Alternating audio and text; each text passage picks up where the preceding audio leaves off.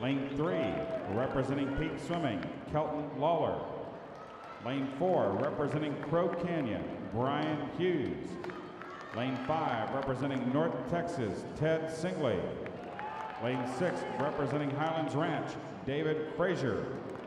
Lane seven, representing Alamo area, Andrew Skoronek. And in lane eight, representing Sunoco, Kazumu Takabayashi.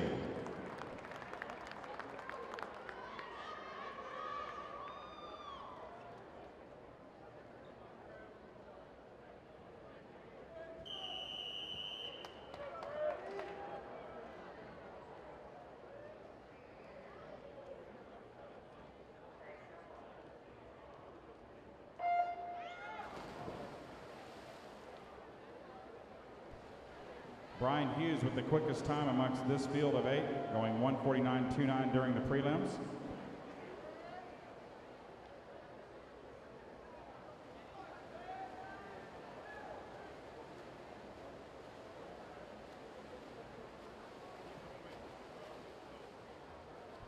Brian Hughes, 24.13, leads him out on the second 50.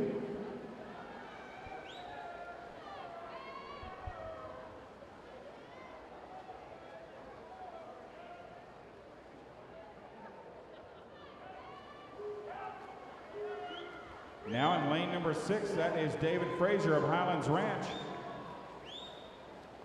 Good burst here by David, going at 27.5 on that 50 to take the lead, 51.7 overall.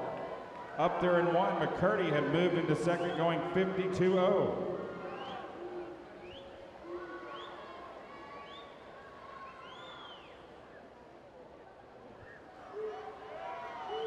Another competitive heat here in the men's two fly.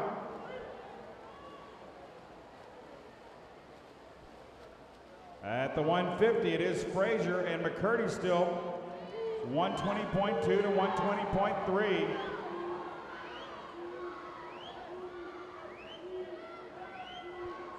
Bearing down on the final turn. Nice jump there by Ted Singley of North Texas. And in lane eight, here comes Takabayashi. And in one, McCurdy.